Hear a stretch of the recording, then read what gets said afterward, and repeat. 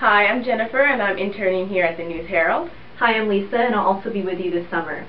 We're bringing you tomorrow's headlines today. Three Georgia teens are in jail after luring another woman to the beach where she was beaten and robbed. Police say the robbery happened around 12.45 a.m. today near Bikini Beach Motel on Front Beach Road.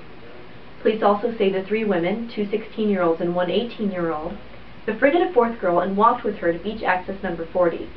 Once there, they pushed her head in the sand and began kicking her in the face and head. They stole from her $50 and fled in a Ford Mustang.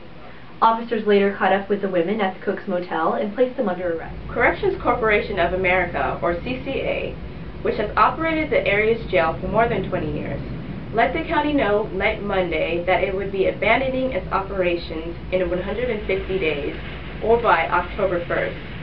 CCA cited financial concerns for the reason of pulling out of Bay County. A workshop has been scheduled by the Cape Bay County Commission for 2 p.m. today at the Panama City City Hall to explore the county's further options. You can find more information on this story and the results of today's meeting in tomorrow's News Herald. Well, that's all the news we have for you today. Have a good day and stay tuned for our next newscast. Bye. Bye.